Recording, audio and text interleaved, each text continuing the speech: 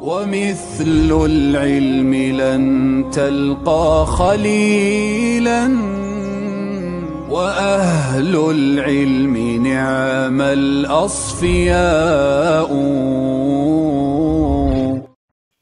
ابن سيرين قال شوين شنير يرص العقل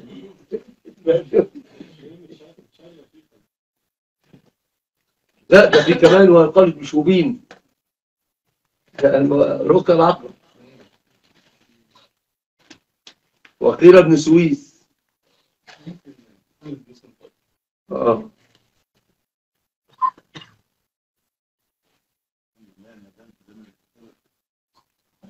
نعم. ابن ابن ذكروا في أهل الطائف. وقال نزل مكة.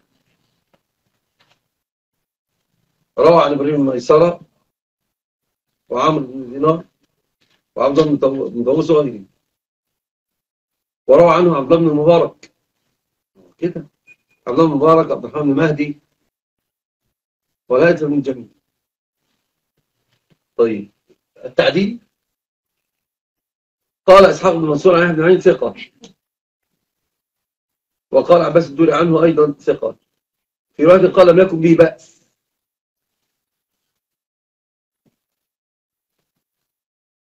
قال الحجاج بن الشاعر عن عبد الرزاق ما, كان أعلم محمد بن مسلم إلى الثوري.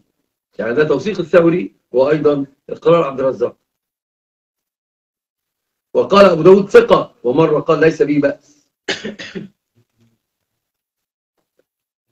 ذكره ابن حبان في الثقات. وقال العجلي ثقة. قال ابن عدي صالح الحديث لا بأس به. حد معاه تليفون محمد. خلاص. عدي صالح الحديث لا بأس به. لم أرى له حديثا منكرا. طبعا أنا عدي مهم جدا يعني أنا عشان تفهم بس الكلام على الرجال. اجعل اجعل اجعل فيصلة المسألة عند النظر الدقيق على كلام ابن عدي لما؟ الصبر يسرع حديث الراوي ويأتي لك من ملخص الكلام فيه. وهناك أقوال توثق كتب محمد بن مسلم هذا. قال البخاري قال ابن مهدي كتبه صحاح وهذه معناها أن أن إتقانه أن ضبطه على إيش؟ ضبط إيش؟ ضبط كتاب. وقال ابن العلم بعد توثيقه إذا حدث بكتابه فليس به بأس. لسه في الحلقة اليوم قائل ليلة قال ذلك. وكان عن جهود العلماء في مسألة الصحيح السنة. تجريحه قال عبد الله بن أحمد عن أبي قال سمعت أبي يقول محمد مسلم الطائفي ما أضعف حديثه وضعفه جدا. وقال ابن معين إذا حدث بالحفظ كأنه يخطئ. وده عدل الكلام هو الآن كده عدل الكلام. يبقى قبل أن نبرر وننصف التبرير أحمد يضعفه متى؟ إذا إذا حدث من من من ضغط من من صدر.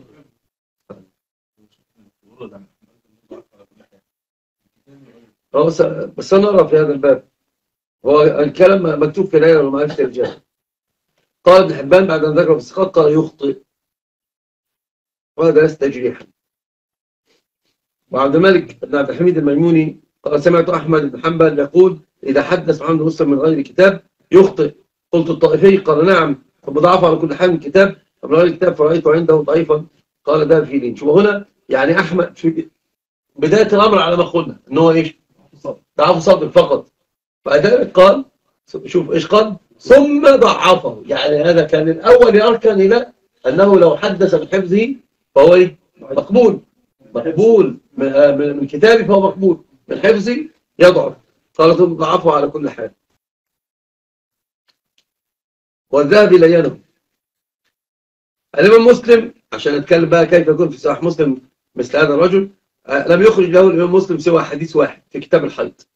باب جواز أكل المحدث الطعام أنه لا كراهة في ذلك وأن الوضوء ليس على الفوري. من رواية يحيى بن يحيى أولا محمد مسلم الطائفي عن عمرو بن دينار عن سعيد بن حويرث مولى السائب أنه سمع عبد الله بن عباس رضي الله عنه. قال ذهب رسول الله صلى الله عليه وسلم إلى الغائط فلما جاء قدم له طعام فقيل يا رسول الله أتتوضأ؟ قال لما؟ الصلاة؟ يعني سأصلي الآن عشان تقول لي توضأ وهذا حديث لم ينفرد به بل تابع محمد بن مسلم حماد بن زيد وهذا الفحل الفحول حماد بن زيد. حماد بن زيد وأيضا تابعه سفيان بن عيينة عن عمرو بن دينار. يعني المسألة مقضية. ما أحد أن ينكر على مسلم حتى لو قيل له إن هذا ليس على شرطك نقول هو أتى به العلة وتابع محمد مسلم. من؟ فحول المحدثين. حماد بن زيد و؟ وابن عيينة وتابع عمرو عن سعيد بن حويرث بن جريج. والحديث أخرجه الترمذي في الشمال أيضا من طريق سفيان بن عمرو سفيان ال- ال- بن عيينة عن عمرو بن دينار حقيقة الأمر لو نظرنا سنجد أن الرجل موثق وأن توثيقه في كتابه أنه ضبط كتاب. والجرح الذي جاء فيه لا يخرجه عن عن, الاحتجاج. لم يرد عن عن عن- في التجريح إلا كلام أحمد أنه ضعفه على كل حال.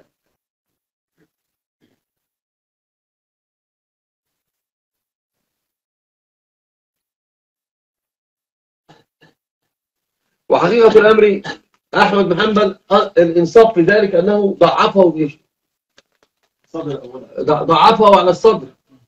وأما تضعيفه على كل حال يخالف توثيق الأئمة ال- ال- الكبار الذين وثقوه هنا في هذا في هذا الباب. قد قد وثقه يحيى بن معين ووثقه من؟ العجلي؟ وابن المديني كل هؤلاء وثقوه وأبو وابن مهدي وأبو داود والثوري كلهم وثقوا وثقوه. وابن مهدي قال كتبه صحاح. ومسلم لم يخرج له إلا حديثا واحدا وكان متابع وكان متابع. يعني قسمة العدل في هذا الباب أن نقول الرجل إذا حدث من كتابه فهو ثقة أيوة متابع متابع. مش في المتابعات. روى حديثا واحدا في الأصل في كتاب الحج تابعه حماد بن زيد وابن عيينة. اللي رواه مسلم حديث حي ذهب الرسول صلى الله عليه وسلم إلى الغائب فلما جاء قدم له في كتاب الحج علشان يتوضأ. صح كده؟ قال الصلاة. تابعه حماد بن زيد وسفيان عيينة. يعني هو متابع افهمني. آه نعم. فهمت؟ هو متابع. لو اعمل الاسناد والستارة اعمل تحته. حماد وتحته ابن عين فهمت؟ حقيقة الأمر الكلام في هذا الرجل أن نقول بأنه بأنه إذا حدث من كتابه فهو ثقه وقد نقول فهو إيش؟ يعني جيد أو ضابط. لا ها؟ يعني عن. لا ينزع عن الحسن بحال من الأحوال. إذا حدث من كتابه يقال باس به ما مشاكل لكن إذا حدث من حفظه فهو ضعيف. وإذا حدث من حفظه فهو ضعيف. هذا انصف الأقوال فيه. إذا حدث من حفظه فهو ضعيف وإن حدث من كتابه فهو لا بأس به. أو قل هو ثقة. ثقة له أوهام ثقة له أخطاء. ومن من الثقه الذي لم لم يخطئ. فيكون هنا محمد نصر الطائفي وإن كان يعني قد ينكروه على الإمام مسلم لا إنكار لأنه هو الرجل موثق إذا حدث من كتابه من كتابه. الأمر الثاني أنه ما روى له إلا حديثا واحدا. الأمر الثالث هو الأهم الحديث برمته صحيح. يعني بكل الأحوال الحديث صحيح لا ينكر على مسلم. لكن ينكر على هذا الرجل نقول له لا فإنه اغتفر في أن في أن الإمام مسلم أتى به على على المتابعات. يعني تابعه حماد بن زيد وتابعه عيينة عن عمرو وهؤلاء فحول أثبت الناس في عمرو دينار طب ماذا يفيدنا؟ لا أنت خليك عشان تجيب لي حاجات سكت كل اعضاء هنا ماذا يفيد انه اتى بحماد بن زيد وسفيان بن عيينة متابعين؟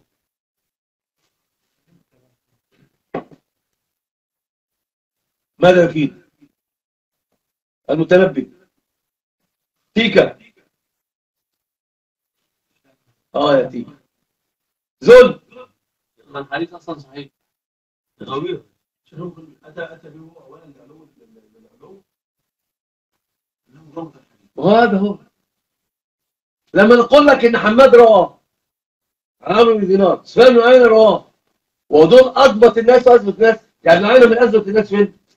في عمرو ووافق وافقه محمد بن مسلم. دي معناها إن محمد بن مسلم عمل إيه؟ ضبطه هذا معناه لما يأتيك هو تبعه حماد بن زيد تبعه ابن عيينة. وابن عيينة أثبت في عمرو بن دينار. هذه فيها دلالة ان محمد مسلم الذي وافق ابن عيينة أنه ضبط إيش؟ ضبط هذا. ممكن اذهب الآن. يعني تتصدر وش هذا الله. حفظ الله فيك. طبعا قبل أن نبدا بأي شيء فيك يأمرنا بصيام غد وغد يوم الاثنين. بعت يوم الاثنين وفيه ترفع الأعمال يوم الاثنين. أيضا فيه يوم ولد فيه النبي صلى الله عليه وسلم ويوم بعث فيه. جيد؟ اللهم عباد الله صالحا واجعل الوجه خالصا ولا تجعل نحن فيها شيء. اللهم اللهم اجعل هذا البلد من الرخاء وسائر بلاد المسلمين. اللهم وفق ولاة كل مسلم حفظ الكتاب والعمل بسنة نبيك صلى الله عليه وسلم. وفقهم توفيقا. وسددهم تسديدا. واجعل منهم في رضاك مبتغاك وأنت أرحم الراحمين. اللهم إنا نسألك إيمانا لا يرتد ونعيما لا ينفد ومرافقة النبي محمد في جنة الخلد اللهم ارحم موتانا واشف مرضانا وفك أسرانا وزوج شبابنا. الله يرحمك وأحسن إلينا وأدم علينا هذه المجالس إخلاصا لوجهك الكريم. اللهم آمين يا رب العالمين. اللهم أدم علينا هذه المجالس وانت أرحم الراحمين. اللهم آدم علينا هذه المجالس وانت أرحم الراحمين. اللهم علمنا ما ينفعنا وأنفعنا بما علمتنا. واجعلنا ممن يتعلم ليتعبد وينشر ذلك بين الناس.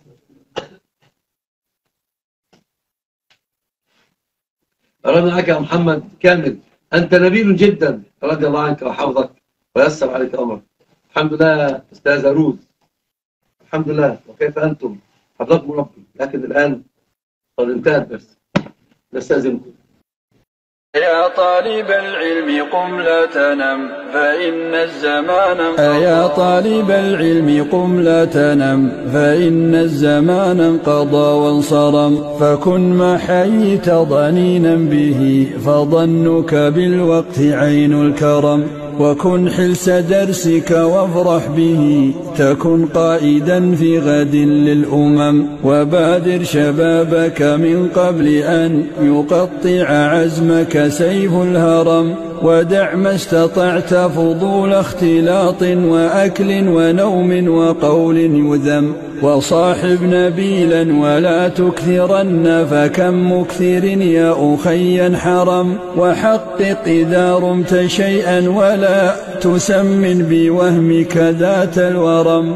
رأيت العلوم وأصحابها لدى كل ذي فطرة تحترم. فإن رمت يا صاحبي رفعة بدنيا وأخرى فلذ بالقلم. وأخلص لربك واعمل بما علمت وإن تلقى فيه الألم وصابر وثابر ولا تكسلا فإن الهموم بقدر الهمم. فإن الهموم بقدر الهمم.